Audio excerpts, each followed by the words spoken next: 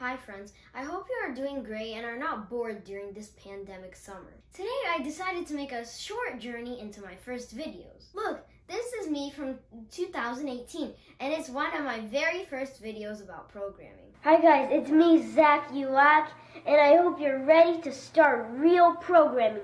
Because today is our video in real programming, and we're going to be starting off from scratch. I even found my old t-shirt. It's a little small for me, and unfortunately I couldn't find my pants.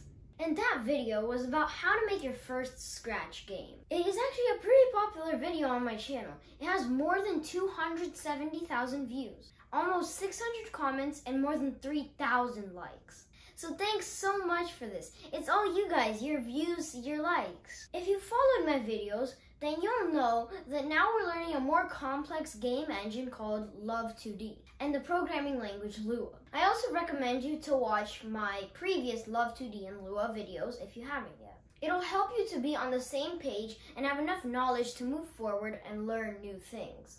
So why did I decide to jump two years back? Of course, it's not a step back in knowledge or project level. I just want you to see the difference between two game engines. You can see how really easy steps in Scratch need deep understanding and knowledge in Love 2D and Lua. Also, you will see why math knowledge is critical in programming how to add and use sprites in Love 2D, and how to measure the distance between two objects on the screen, how to rotate sprites in a specific direction. I'll give you some cool tips like how to debug your program, how to rename variable occurrences everywhere through your program all in one step, and other cool things that will help you build your own game bestseller. Okay, let's go! Okay, first let's create two files conf.lua for our game configuration, and main.lua, our, our main file where we're going to write the game code. Let's add a few configuration commands to my conf.lua file uh, to set up the game window size and window name for my game.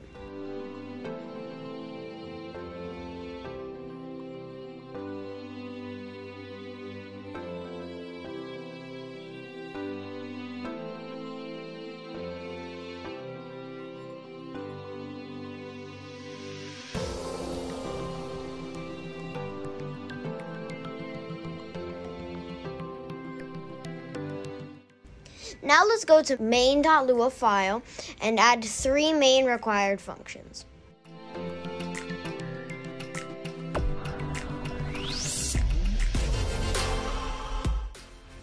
love.load, love.update, and love.draw.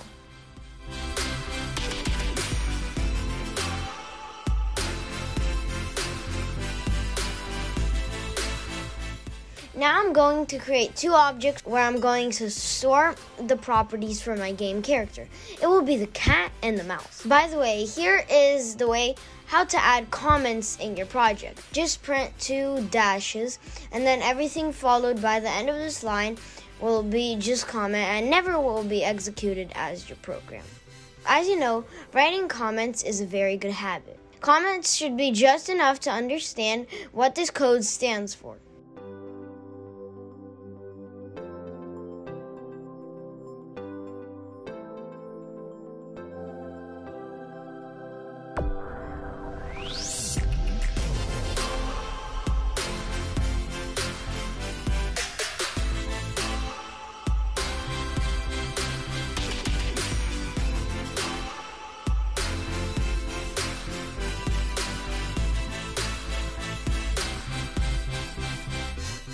Now let's add the PNG images for our sprites.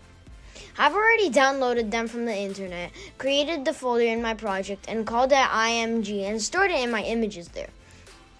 So, so now I just need to add them to my projects and draw them on the game screen.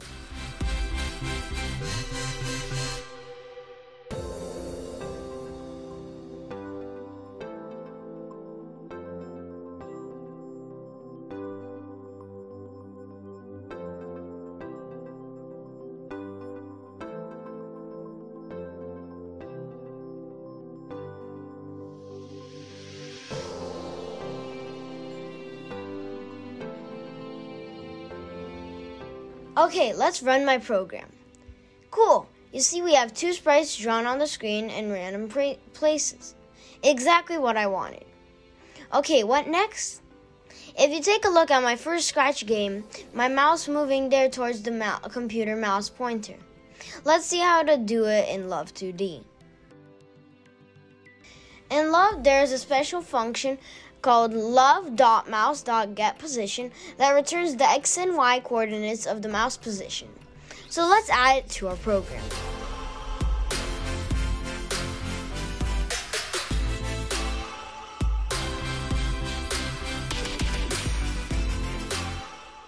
But here's the confusing part.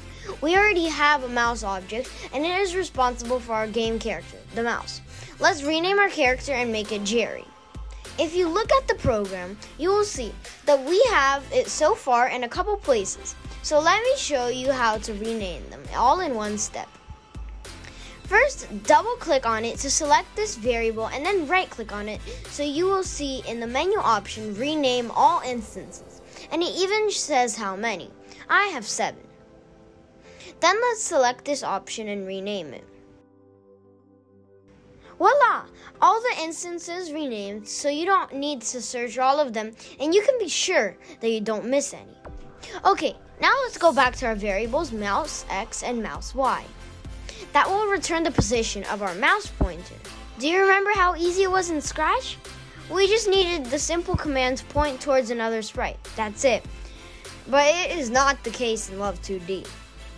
But Lua also has a very handy predefined function that returns an angle for two objects on the screen. Okay, let's add this function.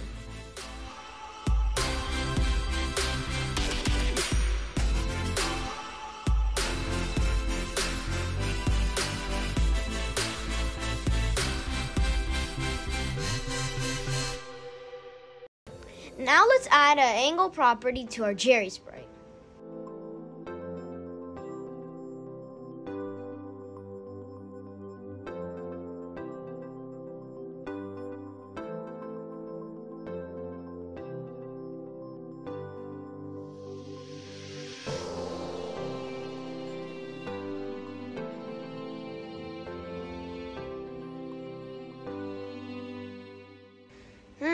This is weird. My Jerry is supposed to turn to the direction of the mouse pointer. Let's see what's wrong. I want to show you one useful technique of how to debug your program. Let's print on the screen the value of Jerry underscore mouse underscore angle variable.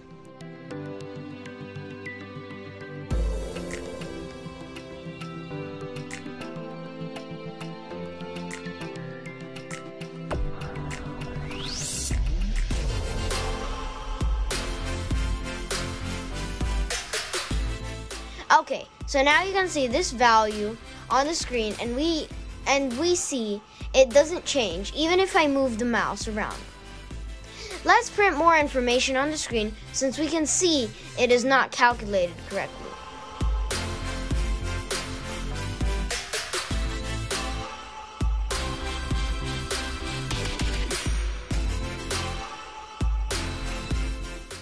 Okay, mouse X and mouse Y are also static even if my move if even if I move my mouse around. So the problem is definitely here. Maybe I misspelled the command. Let's check it. The command looks good.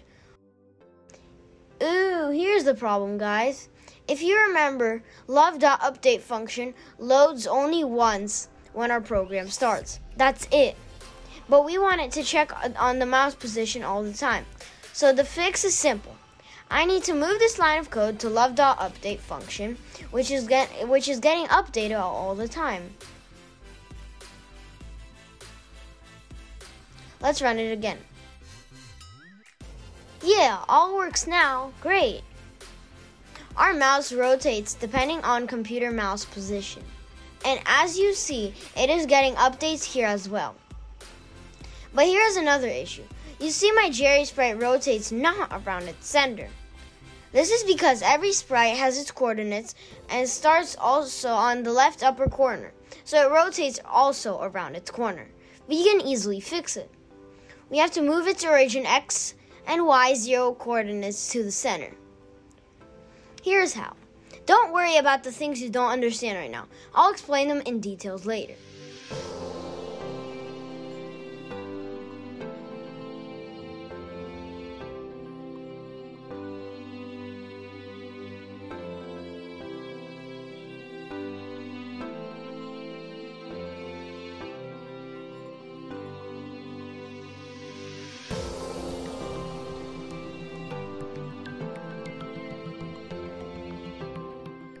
Okay, great. Now it is rotating exactly around its center. So now my Jerry can turn towards the mouse pointer. Here's another challenge. How to make our Jerry sprite move in, in the direction it turns. And we need math help here again.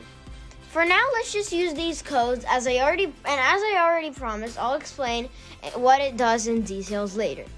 Now it is enough to understand that it changes the x and y coordinates depending on angle. First, we need to add speed for our sprites. Then, let's use these formulas.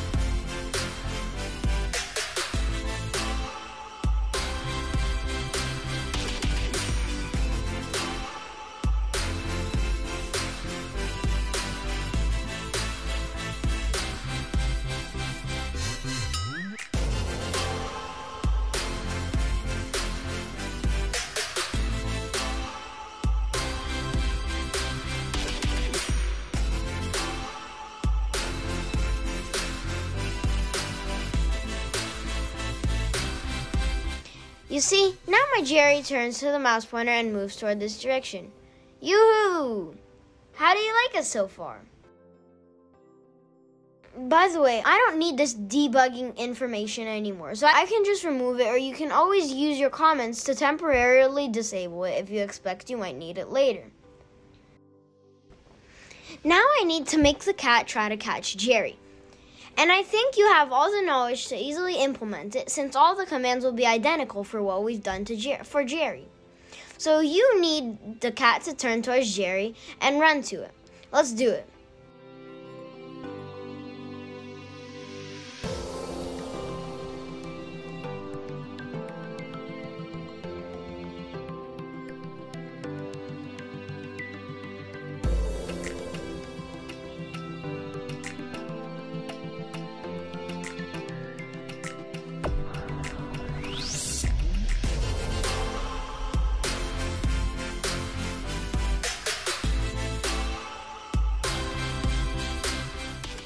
By the way, be careful with this command, math.atan because it uses an unusual order for the x and y coordinates.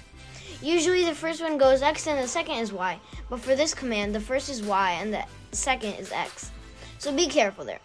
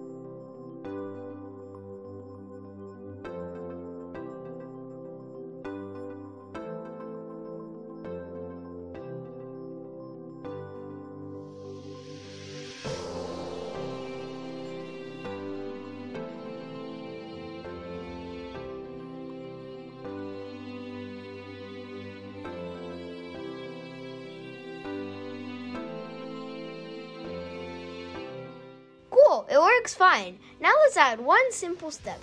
Let's add the cheese sprite so it also appears on a random position somewhere closer to the cat.